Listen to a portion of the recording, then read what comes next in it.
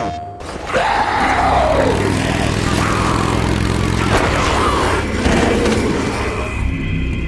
call those transformed by the virus freakers. Jesus. What's wrong? Freakers.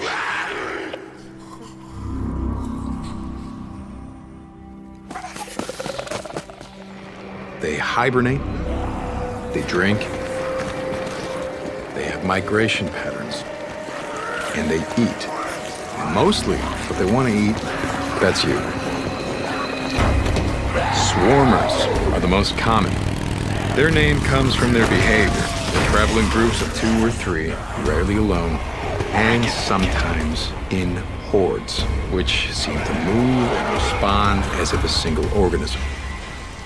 Newts are opportunists and only attack if you're low on health or if you invade their space.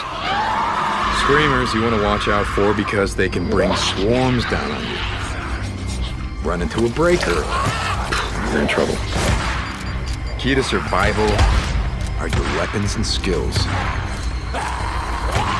Need to burn out a freaker nest, but you're out of Molotovs? That's no problem. Your crossbow can use bolts that you craft in the field. Guns dropped by enemies, they're not great, but survivor camps will sell you better hardware. In a gunfight, combat focus can be the edge that you need to survive, allowing you to really focus in on a target and take the shot. Or use stealth, take him down quietly. Since ammo is scarce, you gotta be up on your melee skills. Crafting and repairing weapons is essential. In fighting one or two guys, sure, yeah, take them on. More than that, you have to be careful. Run away. Live to fight another day. In Days Gone, you have to take on everything from snipers trying to pick you off from the trees to wolves looking for an easy meal. Are you ready to fight?